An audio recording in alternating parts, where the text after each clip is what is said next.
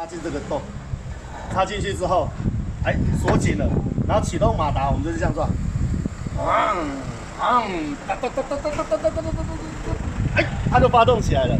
所以你要对，然后发动的时候它会跳开，所以你这个姿势要对。所以那个时候早期就是靠了这一支钥匙，车钥匙去做什么？做几个启动的作用。